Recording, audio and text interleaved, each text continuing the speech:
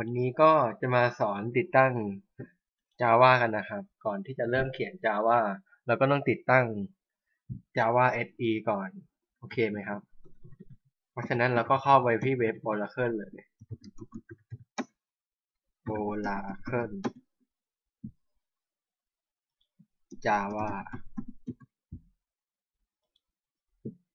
จากนั้นเราก็เลือก JDK Java Platform JU10 ครับ 7U10 อ่า จากนั้นเราก็เลือก เลือกว่า เลือกว่าเราจะลงตัวไหน ก่อนที่จะลง Java SE นะครับ เราก็ต้องยอมรับเงื่อนไขมันก่อน อืมจากนั้นเราก็เลือกว่าจะลงตัวไหน ซึ่งแต่ละตัวก็ ก็จะใช้งานตาม OS ต่างกัน มาดูก่อนนะครับว่าเราจะลงตัวไหน แล้วก็เช็ค เช็คก่อนว่าเครื่องเราเป็น Windows อะไร เป็น OS อะไร แล้วก็ไปที่ Start Computer คลิกขวา เลือก Property จะเห็นว่าคอมเครื่องนี้ใช้ ใช้เป็นคอม Windows 7 Ultimate 64 บิต โอเคไหมครับ อ่า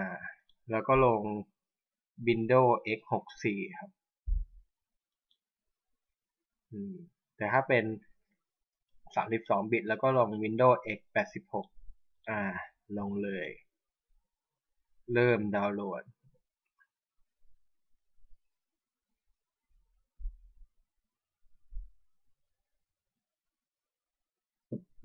รอสักครู่นะครับ มันกำลังดาวน์โหลดอยู่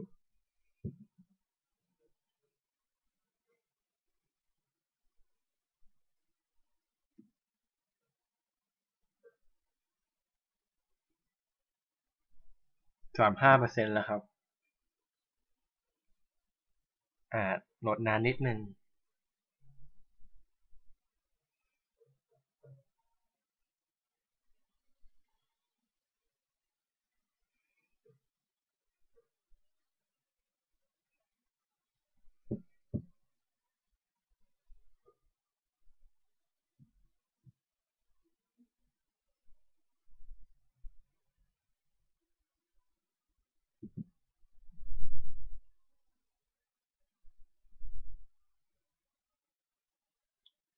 อืมเจ็ดสิบแปดเปอร์เซ็นต์แล้วครับ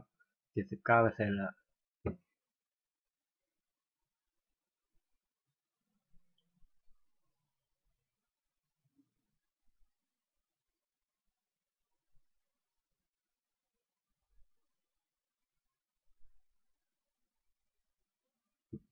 อ่า เสร็จแล้วครับ กดเปิดโฟลเดอร์เลย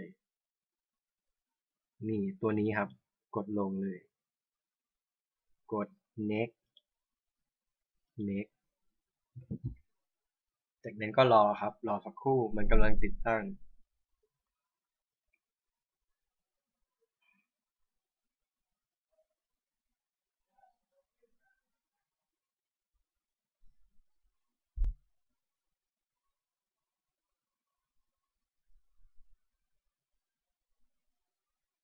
กำลัง exacting ครับ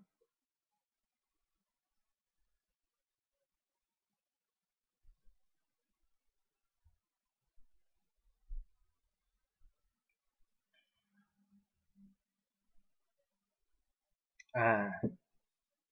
ลงต่อเลยกด next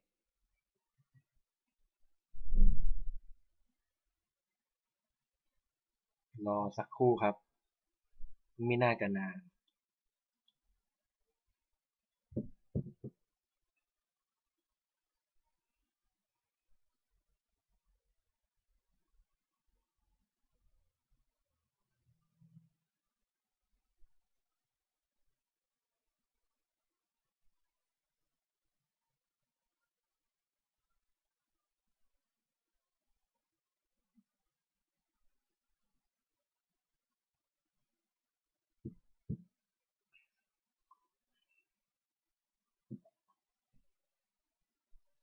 ใกล้เสร็จแล้วครับ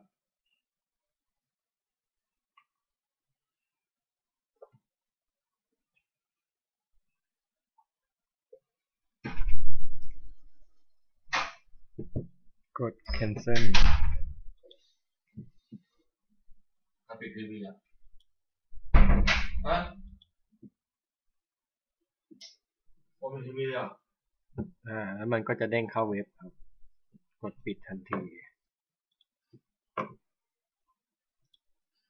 เข้าไปที่ control panel ครับ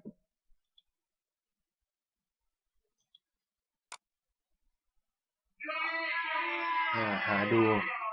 จะเห็นว่ามี Java 7 Update 10 ขึ้นมาแต่ว่าลง Java SE เรียบร้อยแล้ว แล้วก็พร้อมจะเขียนเล็บเขียนโปรแกรมได้แล้ว แล้วก็มาลงตัวนี้ครับ Notepad พัดพัดเข้า Google เหมือนเดิมครับ พิมพ์ว่า Notepad พัดพัดอ่า ก่อนที่เราจะลง Notepad พัดพัดเรามาเซตพาดก่อนนะครับ เพื่อจะได้ใช้คำสั่ง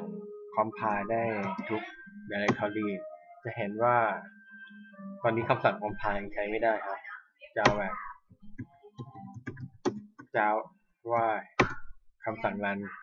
ใช้ได้แต่คำสั่ง run เห็นไหมครับ java แต่ว่า java ใช้ไม่ได้ อ่าฉะนั้นฉะนั้นเราก็ต้องเซตพาดก่อนอืมไปที่ start computer C โปรแกรมไฟล์ Java JDK JDK 10 นะครับอืม bin อ่าก๊อปมาเลยครับก๊อปมาเลย copy ครับอ่าจากนั้นไปที่ My Computer เลือก Property Advanced System Setting Windows อื่นอาจจะไม่ได้เป็นอย่างนี้นะครับ หรือว่า OS อื่นอาจจะได้เป็นอย่างนี้ อันนี้จะจะใช้ Windows 7 เป็นตัวอย่างนะครับ ก็ลองประยุกต์กันอยู่ ไปที่ Environment Variable อ่าเลื่อนลงมาครับ เลื่อนลงมา จะเห็น Path ครับ จะเห็นพาครับพาหรือ Path กด Edit ครับ อ่า ใส่ไปเลยครับ อ่า ใส่ไปเลยปึ๊บ Control V ปึ๊บอ่า ใส่ครับ ใส่ครับ กด โอเค โอเค โอเค อ่า อ่า เราลองดูกันใหม่ครับว่า compile ได้หรือยัง CLS Java อ่าแป๊บหนึ่งครับอ่านไม่ขึ้นอาจจะมีข้อผิดพลาด มาดูกันใหม่ครับ อืมอ่า edit อืมอืมอืมอืมอืมลิซีไม่เข้าใจอ้าว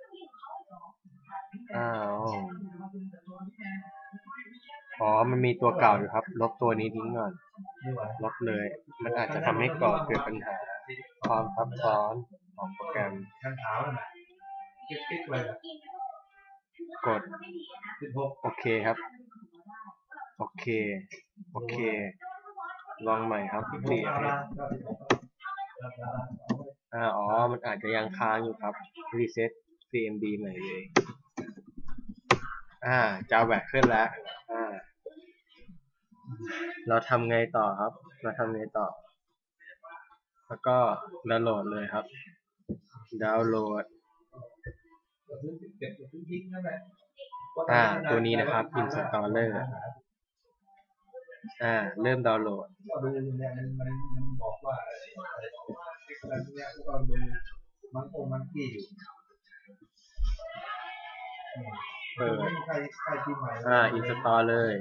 อมันกี้อยู่เปิดใครใครที่ใหม่อ่า install เลย English นะครับ เข้าใจง่ายดี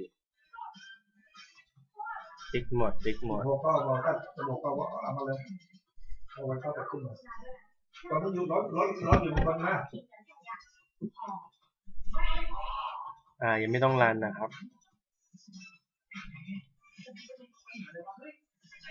พอลงเสร็จจะเห็นว่ามันอยู่ตรงนี้ แล้วก็ลากออกมาที่หน้าจอเลยครับแต่มันเปลี่ยนเปลี่ยน CDI อย่างกดดับเบิลคลิกเหร อ่ายังไงต่อครับ เราก็ลองเขียนโค้ดง่ายๆดูครับแลงเฟสเลือก Java นะครับ public class test public static void main string args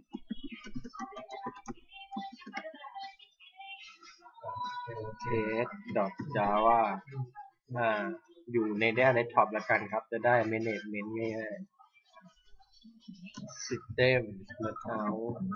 print line hello world ดูแค่ตังค์มาเรามาดูกันใหน่ครับ จะได้ผลเป็นยังไง ขอปิดก่อนนะครับ ดูดู java test java อ่า เรียบร้อยแล้ว java test อ่า